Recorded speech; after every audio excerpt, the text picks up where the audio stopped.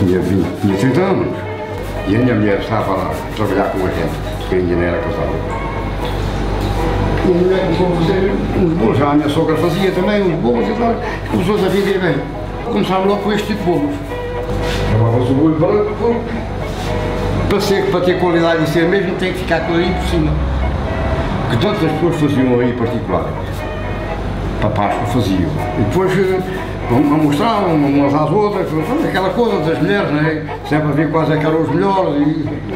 Então, na altura, as pessoas caçavam, se calhar aqui e em outros lados, e quase sempre aproveitavam a altura do fim dos verões, que era quando havia mais. As pessoas casavam, vinham uma semana antes, ou coisa assim, olha, está vou casar, preciso de X de bolo. Mas era uma quantidade assim que justificava 10, 15 quilos, comprava muito bolo. Para o casamento, davam aos padrinhos, lá aquelas tias, depois punham num ramo, no dia do casamento, os dois iam à igreja casar e quando vinham do casamento, depois vinham lá e iam para a casa da noiva comer o ramo, chamava a gente que era o ramo. Era onde estava o bolo da noiva, partiam o bolo da noiva e, e os bolos brancos lá acompanhados, dividiam, partiam, punham umas, umas travessas em cima da mesa, bom, lá acompanham aquilo. E era assim que se fazia. E a tradição manteve-se sempre nessa, e era o bolo da Páscoa, isto era o bolo da Páscoa.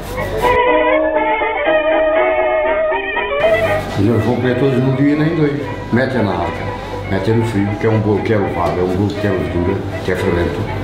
E no outro dia tiram, metem na, na torradeira ou metem no micro-ondas ou metem, e ele, como é um bolo levado, atua. Quer dizer, vem quase ao normal. E aí fica capaz de comer. Cortam, metem um doce qualquer, um qualquer se quiser.